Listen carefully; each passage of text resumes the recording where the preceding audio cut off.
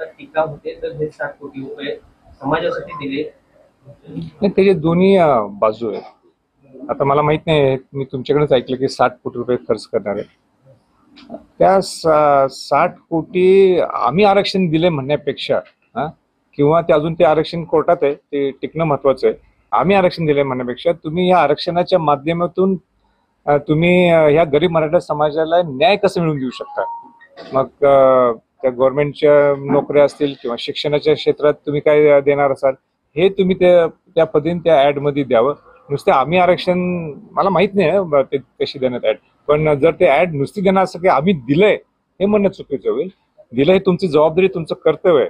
पण त्याचबरोबर तुम्ही त्या आरक्षणाच्या माध्यमातून काय गरीब मराठ्यांना न्याय मिळवून देणार आहे ह्याच्याबद्दल तुम्ही सविस्तर स्पष्टीकरण त्याच्या ऍडमध्ये दिलं तरी मग माझी काही हरकत नाही. निकाल देखील लागणार आहे. संभाजीराजे म्हणून तुमच्यासाठी हा शिवराज्याभिषेक सोहळा किती महत्त्वाचा नाही मी राजकारण आणि हा सोहळा केव्हा मी केव्हाही मिक्स केलेला नाही आणि करणार सुद्धा नाही. चार तारीख ही वेगळी आहे. आणि पाच आणि सहा हा रायगडचा शिवराज्याभिषेक सोहळा हा वेगळा आहे. शिवराज्याभिषेक राजकारण केव्हा तरी थांबू शकते पण शिवराजीभिषेक सोहळा हा थांबणार नाही. आणि म्हणून माझं या प्रसंगी इतकंच आव्हान आहे जितकं चार जून माझा महत्त्वाचा असेल पण सगळ्यात जास्त महत्त्वाचा माझ्या दृष्टिकोनातून सुद्धा हाही मुद्दा महत्त्वाचा आहे की शिवाजी महाराज हे छत्रपती झाले. शिवाजी महाराजांचा राज्याभिषेक सोहळा झाला. शिवाजी महाराजांनी हिंदवी स्वराज्य का आपल्या लोकांसाठी स्थापन करून दिलं? हाच उद्देश ठेवून आम्ही हा शिवराज्याभिषेक सोहळ्याच्या माध्यमातून हा शिवराज्याभिषेक सोहळा सुरू केलेला आहे. जेणेकरून शिवाजी महाराज खऱ्या अर्थाने त्यांचा उद्देश काय होता? शिवाजी महाराजांनी आपलं स्वराज्य हिंदवी स्वराज्य स्वराज्य आपल्यासाठी का निर्माण केलं? हे या शिवराज्याभिषेक सोहळ्याच्या माध्यमातून आम्ही दाखवण्याचा प्रयत्नशील असतो. नाही दरवर्षी आम्ही सगळ्या मुख्यमंत्री असतील उपमुख्यमंत्री असतील खासदार असतील आमदार असतील सगळ्यांना आमचे इन्व्हिटेशन जातात. पण ह्यावेळी सगळे लोकसभेची सगळी पळापळ असल्यामुळं धावपळ असल्यामुळं बाहेरचे परदेशातले पाहुणे हे बोलवणं शक्य झालं नाही. कारण का माझे स्वतः सगळ्या राजदूतांशी चांगले संबंध आहेत. पूर्वी एक तीन वर्षाच्या अगोदर मी सात आठ राजदूत तिथं शिवाजी महाराजांना अभिवादन करायला आले होते. छत्रपती शिवाजी महाराजांच्या जयंतीला तर तीस राज्यसभा तीस राजदूत जगातले शिवाजी महाराजांना अभिवादन दिल्लीत शिवजयंतीसाठी आले होते सगळे. पण राजदूतांना आम्हाला आम्ही ह्यावेळी पोहोचू शकलो नाही. पण पुढच्या वेळी नक्कीच आपण आणू. तीनशे पन्नास नसला तरी पुढच्या वर्षी तरी आपल्याला अनेक राजदूत असतील किंवा अनेक वरचे देशातले प्रमुख लोक असतील ते येतील. पण एकंदरीत हा लोकोत्सव आहे. आणि त्याच्यामुळे जे ज्यांची इच्छा आहे त्यांनी सगळ्यांनी इथं यावं. देशातून सगळे शिवभक्त येतात. परदेशातून सुद्धा अनेक शिवभक्त तिथं नुसतं शिवाजी महाराजांना अभिवादन करण्यासाठी येतात. आणि म्हणून खऱ्या अर्थाने हा शिवराज्याभिषेक सोहळा हा लोकोत्सव झालाय असं म्हटलं तर काही चुकीचं होणार शिवराज्याभिषेक समितीच्या वतीनं दोन हजार सात पासून शिवराज्याभिषेक सोहळा सुरुवात झाला. मला आनंदाने सांगायचं आहे की दोन हजार सात ला एक दोन हजार शिवभक्त आले होते शिवराज्याभिषेक सोहळा साजरा करण्यासाठी. मागच्या वर्षी शिवराज्याभिषेक सोहळ्याला सहा जूनला पाच लाख लोकांनी उपस्थिती लावली. दोन हजार तेवीस ला तीनशे पन्नासवा शिवराज्याभिषेक दिनची सुरुवात झाली. आणि ह्या वर्षी तीनशे पन्नासवा शिवराज्याभिषेक दिनची वर्षपूर्तक आहे.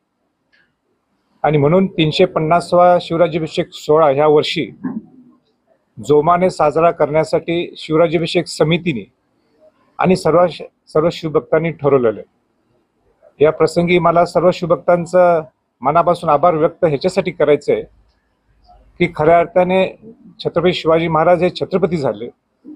शिवाजी महाराजांचा राज्याभिषेक सोहळा हा रायगडला झाला. आणि तो लोकोत्सव व्हावा तो राष्ट्रीय सण म्हणून साजरा व्हावा. यासाठी सगळ्या शिवभक्तांनी प्रयत्न केला राज्याभिषेक समितीने प्रयत्न केला. आणि म्हणूनच आपल्याला या अठरा वर्षात ज्या शिवराज्याभिषेक समितीने सहा जूनला शिवराज्याभिषेक सोहळा सुरू केला आपल्याला दोन हजार शिवभक्तांच्या वरून आज पाच सव्वा पाच लाख लोक शिवभक्त तिथे येतात. फार मोठं आव्हानात्मक काम आहे. शिवराज्याभिषेक समितीच्या वतीनं असेल प्रशासनाच्या वतीनं असेल आणि या संयुक्तपणाने एक चांगल्या पद्धतीने एक राज्याभिषेक सोहळा हा देखणा व्हावा राज्याभिषेक सोहळा हा नुसतं महाराष्ट्रात नाही तर देशात नाही तर जगभरात पोचावा या दृष्टिकोनातून आमचे प्रामाणिक प्रयत्न आहेत. आणि परत एकदा सगळ्या शिवभक्तांना मी आवाहन करू इच्छितो की आपण या तीनशे पन्नासव्या शिवराज्याभिषेक सोहळ्यासाठी आपण मोठ्या संख्येने आनंदाने उत्साहाने शिवाजी महाराजांना वंदन करण्यासाठी शिवाजी महाराजांना अभिवादन करण्यासाठी आपण यावं. मला पूर्ण कल्पना आहे. ज्या पद्धतीने लोकांची सोय होण्यासाठी जेवढे प्रयत्न हो व्हावे लागतात पण अनेक प्रतिकूल परिस्थिती तिथं रायगडवर असताना अनेक लोकांच्या लोकांना हाल अनेक शिवभक्तांना एकदा वेगळ्या हालाकीच्या परिस्थितीतून सुद्धा केव्हा ते जावं लागतं. पण एक शिवभक्त ज्यावेळी तिथं येतो तो त्या तयारीच येतो की आपल्याला तिथली परिस्थिती किती प्रतिकूल हे कल्पना आहे तरीही शिवभक्त तिथे येतो. पण जेवढं शक्य होईल तेवढं आम्ही म्हणजे शिवराज्याभिषेक समिती आणि प्रशासनाने सुद्धा चांगल्या पद्धतीने जोडणा केलेली आहे. आणि म्हणून मी सगळ्या शिवभक्तांना परत एकदा आव्हान आव्हान करू इच्छितो की आपण या तीनशे पन्नासव्या शिवराज्याभिषेक सोहळ्यासाठी आपण मोठ्या संख्येने यावं. माझं तर उलट आणि आव्हान आहे की पाच जूनला मी सगळ्या शिवभक्तांच्या बरोबर चित्त दरवाजा नाणे दरवाजाच्या माध्यमातून हे मी रायगड पदभ्रमती करत असतो. दुर्गराज रायगड किल्ल्याची पदभ्रमंती करत असतो. तर आपण तिथं सुद्धा यावं अशी मी आपली सर्वांना मी शिवभक्तांना विनंती करतो आणि थांबतो. एकूणच कसं नियोजन आहे? कारण प्रचंड गर्दी होणार आहे. काय विशेष काही नियोजन करण्यात आलेलं आहे? का? नाही यावेळी मला आपल्याला वाटतं शिवराज्याभिषेक समितीने सगळ्या विषय सविस्तर सांगितलेले आहेत. पर त्यात मी सांगणं काय बरोबर नाही. मी जास्तीत आव्हान करू इच्छितो. मला वाटतं अध्यक्ष आपण बोललाय का? हा, संपूर्ण यंत्रणा सज्ज आहे. काही काळजी करण्यासारखं नाहीये. अ, कार्यक्रम सुंदर व्हावा. एक उत्साह असतो शिवभक्तांच्यात. तर उत्साह सगळे मिळून आपण साजरा करूया. यासाठी सगळ्या शिवभक्तांनी यावं अशी मी आजी सगळ्यांना विनंती?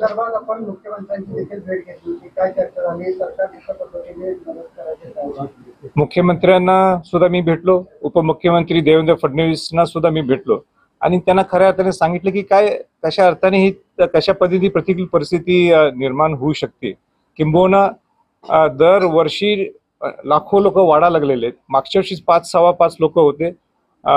मला आनंदाने सुद्धा सांगायचं की प्रशासनाने सुद्धा सकारात्मक दृष्टिकोन घेतलेला. आहे मुख्यमंत्र्यांनी उपमुख्यमंत्र्यांनी तशा निर्देश खाली पाठवलेले आहेत. जिल्हाधिकारी असतील तिथं जिल्हा प्रमुख असतील एस पी असतील सगळ्यांनी आपल्या प्रामाणिक पद्धतीने काम सुरू केलेलं आहे. आणि हे काम नुसतं काय राज्याभिषेक समिती एकटं करू शकत नाही. तर राज्याभिषेक समिती आणि प्रशासनाने संयुक्तपणाने नियोजन करण्यासाठी सगळे प्रयत्न प्रयत्नशील आहेत. या मिनिटाला तर मला कुठेही माझ्या मनात काही त्यांच्याबद्दल कुठेही रोष नाही कुठं चांगल्या पद्धतीने ते मदत करायला लागलेत आणि आम्ही समाधानी आहोत. या या क्षणी तर.